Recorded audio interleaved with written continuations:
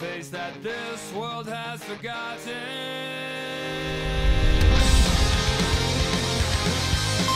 What's up guys and welcome yet again to another tier change video with your roller course Skyrander and of course this is the tier changes that are in Smogon. So if you want to read that yourself and follow out of course the usage make sure to check out that link down below.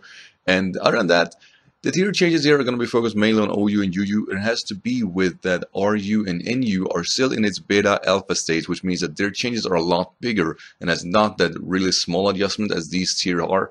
So with that said, they're going to get their separate videos as, of course, their changes are released as the time is going on. And I said that it's a lot bigger, there are a lot more Pokemon moving in those environment at the moment because they're not statue tiers as, of course, Smogon and UU are at the moment.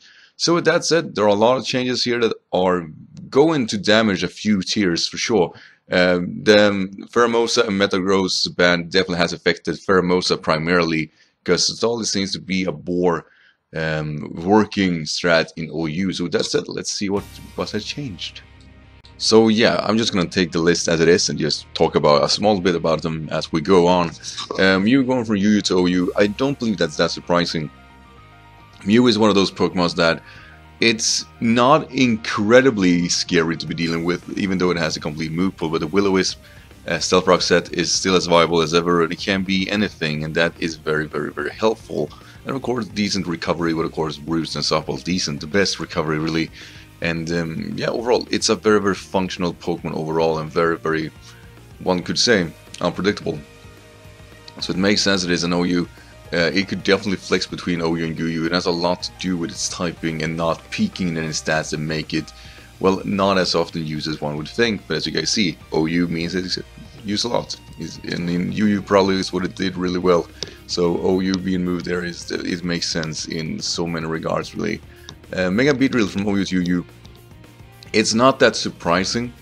Um, it probably would stay in UU. It's still a very cool Pokemon OU. It still has a viability there, but just maybe not as bulky and with of course the faster psychic types being able to pick it up, so of course Mega Alakazam, Beedrill has a tough time. That to get of course priority really really make it hard to use Beedrill in the long run, but if it is rival in speeds here, it usually sweeps the whole team, so Beedrill being moved to UU has a lot to do with its unconventional forced out compatibility, but outside of that, it's still an excellent Pokemon even in of course OU. Mega Sceptile uh, to UU I don't think anyone is surprised by that.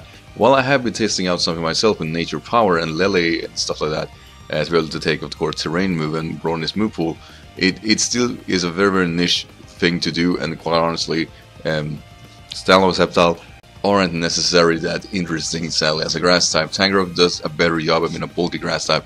Offensive grass types aren't necessarily bad, but it should be said here that it doesn't work in this kind of environment because, well, it doesn't have necessarily the power.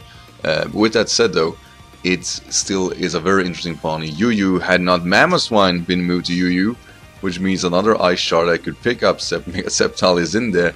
Uh, Mamoswine being moved from OU to UU, uh, it was UU even though it is super viable in OU in Generation 6. Um, I'm pretty sure it has the same type of environment, Focus Sash set with course Suicide Lead or Scarf set or even the Offensive Life Orb set, all of them are viable and does really well. So um, not surprised they're seeing it move down. I don't believe it makes a Pokemon bad, but our Pokemon can perform similar roles, and um, I guess overall that meant that kind of that it fall into obscurity. Granted, though, is still as I said they're super viable no matter what. Uh, Muk, the Alolan form, we moved to OU to UU. I, I would say finally to that. Um, Alolan Muk, while being an excellent choice of dealing with Tapu Lele in OU, it is pretty much all it does. Uh, Landorus does threatening it out, and Landorus C being so common means that Muk has a rough time. And um, yeah, it just it can't hold up for a long time. Its move pool is really, really, really, really struggling. Uh, it has best dual stabs, being of course Gunk Shot and knockoff. Uh, that that's not going to go away, but lacking Lights of Ice Punch at the moment kind of makes it tough to use, and the ability doesn't necessarily pivot it enough to make it more well usable. That said, it has a strong niche. The Solstice variant of Alolan Muk is very good, so it could very well move up again, but at the moment I do kinda understand why it was moved down, because the OU environment aren't necessarily the nicest to it, even though it does fairly well in it.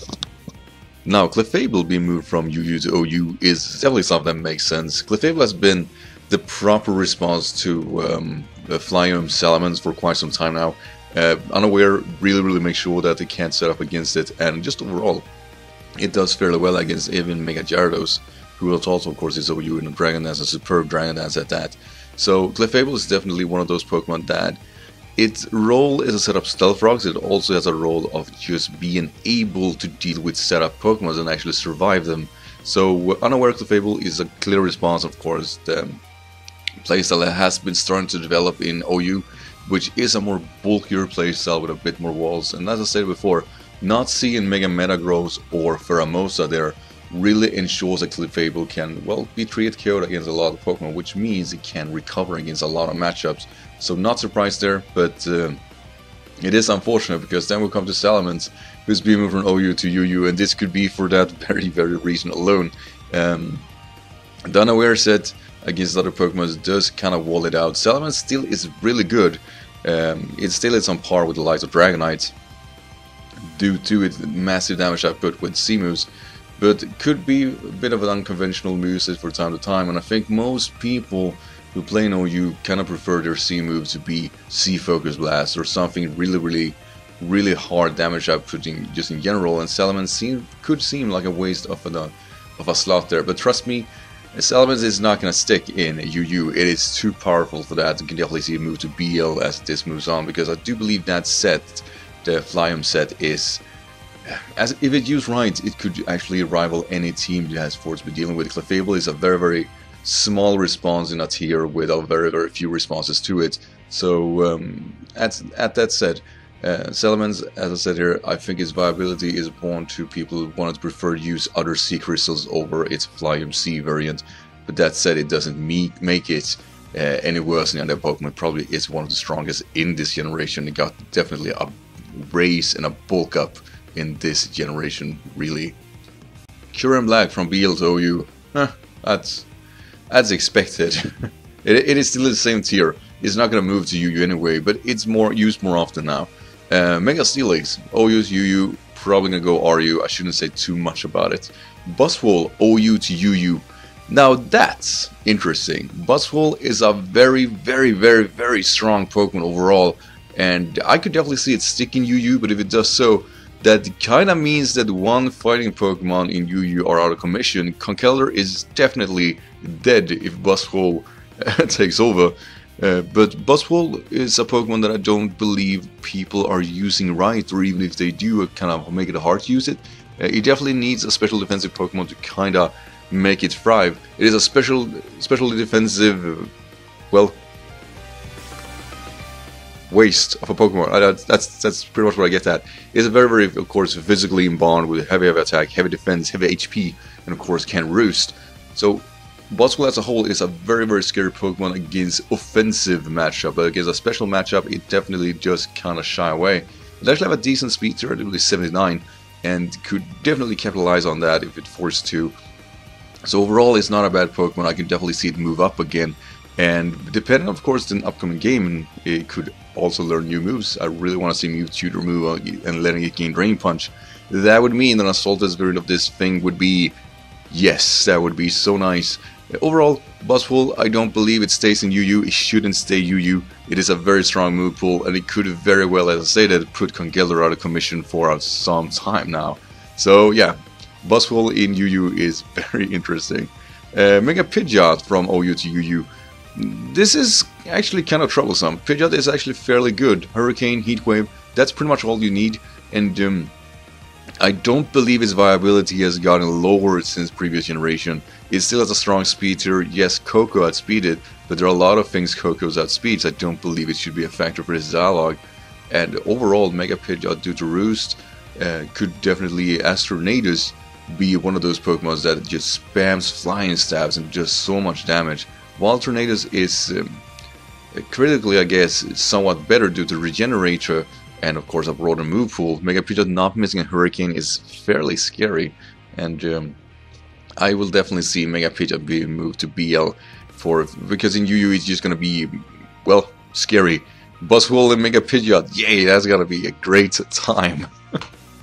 now, Crawdaunt moving from BL2 to UU. Yeah, same thing as Kyurem there. The changes isn't that raw, but it's good to see that Crawdaunt has finally got some usage in UU. Houndoom, the Mega Form OU to UU. I'm pretty sure it's gonna stay UU from here on out. As long as the Drought is not an OU exclusive move, Mega Houndoom can be very very scary in UU. And uh, yeah, it's good speed here. The Mega Form boost really does boost that Pokemon itself, so not really that surprised. And then we have of course Smeargle moving from NU to OU. Here's the thing with Smeargle, its viability is definitely either completely worthless or all out setup and stall, not setup, but setup hazards and stall. And this could very well be it with Smeargle. Decent speeds here, focus sash sets with Spore, Sticky Web, it does a whole lot for OU. And um, yeah, I said it here, due to Pheromosa and Mega Meadows being gone, it could very well be very usable now. Before this, it could actually be U-turned and back to Tangrowth, which means that you only got Sticky Web up but never got to be able to Spore properly. And this is definitely overall responsibility believe to the development in OU. Uh, its viability are on board with which Pokemon that are in OU, so it could, like I said, either be the best Pokemon ever or absolute the worst. Uh, Keldeo from UU to OU, not that surprising. Uh, Keldeo has been gotten a lot worse. I mean, the Skull nerf really does kinda affect Keldeo. Its the spec set is still as strong as ever, and it aren't necessarily that many Pokemon that does wall it that well. And uh, while it only has one possible good set, the Calm Mind subset, while the revival cannot stall other water types anymore, which is unfortunate, which before due to burn damage could be very, very possible. So that is kind of bad, but Kelly overall is still a Pokemon that I believe does a lot of damage. If you're not prepared for it, it's going to punish you. It's going to punish you hard. So it makes sense for, for it to be an OU, but I could definitely see it being a Pokemon that move back and forth because its viability are kind of shaky in OU at the moment, but definitely knocks it out of the park in OU, or I mean in UU. Bisharp, UU to OU. I don't think it'll stay OU. As long as Lele is active, it won't stay OU. It it is very dependent on being able to sucker punch subs sports stance. Uh, Ironhead does finish Lele without a doubt, but there are ways to deal with um, Bisharp really well in OU. But its viability in UU is very very high rising, and it, I do believe that's mostly because it's actually not. There aren't really that many things that stops it, uh, which it makes it so good and so interesting. So I've been unfortunate to see it move up, but at the same time, it is because it's used that much. Uh, Pelipper, OU to UU. Drizzle is banned from other tiers than OU, so it makes sense. It is, of course, the Pelipper set that is just with the keen eye, I do believe. So, and, and Rain Dish, that's, that's, that's great. Uh, we'll definitely see Pelipper in, um, in NU, possible PU, at the end of this generation, I'm sure. Xurkitree, OU. I don't know. Um, Xurkitree is a Pokemon I do believe most people have a tough time using nowadays because of the niche speeds here. Uh, it isn't that scary to deal with, and uh, it, it, should be, but are easily walled out. I do believe people got tired of using it because they were walled out as it was commissioned their teams. The thing is here, it is an excellent Volt Switcher, it is a powerhouse in general, even though the speedster does not foretold too much about it, its damage output is one of the best in the game, so I don't think it sticks in NU. I was gonna say NU would be incredibly interesting, but UU, it's definitely gonna stay OU. I do believe at least get the BL I'm pretty sure this Pokemon has a very, very high viability. And uh, even with the Baton Pass ban in general, there's still ways to boost Xurkitree, so of course Tailwind, so I, am I'm, I'm pretty sure it's gonna get there. Uh, Nidoqueen, NU to UU. Same as Nidoking really. Uh, it is very viable in other tiers, and uh, its defensive typing is one of the best in the game. So seeing it be moved so low as NU is very very good to see in UU that you get a pretty decent coverage matchup and it does very well to it. I definitely believe that it's one of the best Pokemon to wall off certain Pokemon. So yeah, makes sense. It, it definitely belongs there. Audino from OU to UU. I really really shouldn't say anything here. It is not a good it, it's it, it isn't really a good Pokemon. So um, it's gonna be, definitely be NU in the end of this. Uh, Gengar from UU to OU. The Scarf set Gengar is one of the scariest things to be dealing with in OU. It does hurt a lot of teams really, really well. And with Otapu so active as they are, and being weak, of course, to Sludge Wave, it makes sense that Gengar is here. And uh, yeah, it's uh, it might have gotten nerfed with of course getting Curse Body over Levitate, but its damage output are just as scary as ever. Uh, and last is actually Mega Swampert and OU to UU. Makes sense, but trust me, its strongest viability might very well be in OU since of course I stated Drizzle is of course banned in other tiers. So um, yeah, it could easily stay in UU, but it's, it's very viable in OU. Uh, and yeah, that's pretty much the tier changes as stated here. The NU and RG changes are going to be a lot bigger. They're going to have a separate video when they get released because there's going to be a lot of moving there. And it's just, yeah, it's going to be just as interesting as ever. A lot of bands is going to pass next upcoming weeks, I'm sure. But yeah, what do you guys think of the tier changes? Anything that stands out for you? And yeah, don't forget to play a lot of UU now because with Buzzsaw, Xurkitree, Mega Houndoom, Mega Pit, there's gonna be shit going down in that tier. It's gonna be very interesting to see how long a few of these Pokemon will be around. So anyway guys, as always, thank you so much for watching. And yeah, I'll see you of course next week with of course the next upcoming video being either in tiers or something else. Who knows? anyway guys, take care. Bye.